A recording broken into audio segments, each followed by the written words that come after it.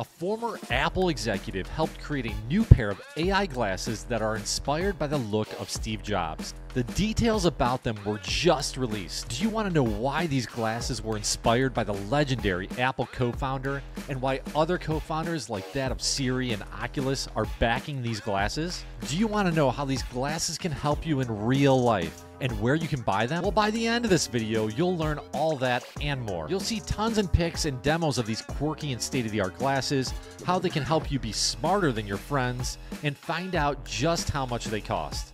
There's currently an arms race brewing for who can come up with the best AI glasses. There's products like the Ray-Ban Meta Smart Glasses and the rumored Apple glasses, just to name a couple. But, but now a new player is entering the game, and that player is called Frame AI Glasses by Brilliant Labs. Brilliant Labs is a company headed by Bobak Tavangar, a former executive at Apple. It's not just Tavangar heading up this company, though. He has an all star team of advisors and investors at his helm. Some of the most notable are Adam Cheyer, co founder of Apple Siri, Brendan Iribe, who was the co founder of Meta's Oculus, and John Hanke, who was the creator of the viral game Pokemon Go. Having these big names on board means a lot. Now, these glasses can do a lot of cool things. Here are some of the best examples. The frame's vision recognition, which is done via its front facing and discrete camera, allow you to look at something and then instantly the vision recognition intelligence will do its processing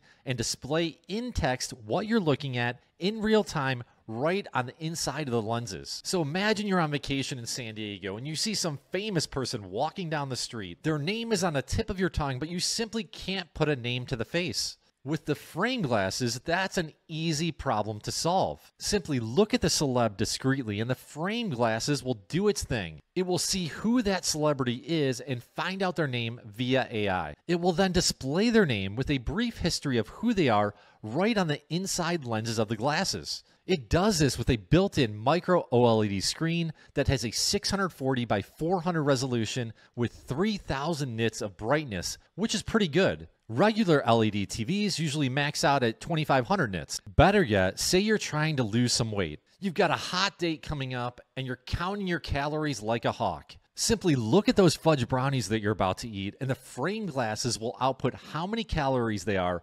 right there directly on the lenses. You decide if you can control yourself at that point. I mean, AI can't do everything for you. Or what if you're on a business trip in Japan and you want to get something to eat? Simply look at the menu at the sushi bar, and the frame glasses will translate the menu from Japanese to English for you live right then and there. The cool thing is that no one around you will know that you're doing this. The screen on the lens is private and only displayed to you. You want to find out more details of that cool foreign car you see parked on the street? With the frame glasses, it's as simple as looking at the car, then asking a question about it. Like, what kind of car is this and how much does it cost? Then, via OpenAI's Whisper technology, the frame glasses will ask its integrated AI search engine Perplexity those questions for you. And within seconds, the glasses will display the answer to you. All these features are built into the frame's iOS app called NOA. NOA is the virtual AI assistant and the real time brains behind these glasses. Every time you look something up on the glasses or translate text, for example, those requests get routed to the NOA app and the AI logic is done there. There's another brain to these glasses as well. They have a sophisticated Lua based operating system and its very own CoreX onboard CPU. The glasses use both the NOA app and the CPU for its smarts. Easily the best thing about Noah is that it learns about you. The more questions you ask the glasses and the more you use its multimodal features, the more NOA tailors itself around you. So, for instance, it might recognize that you're a pizza fanatic. So, the next time you ask for a restaurant recommendation, it will pull up pizza places on the top of the list. These glasses are pretty cool and can do a lot of the same things that standalone devices like the Rabbit R1 or Ray-Ban AI glasses can do. But it has one killer feature that really makes it stand out from the crowd. That is, the software that runs these glasses are open source and freely available on GitHub.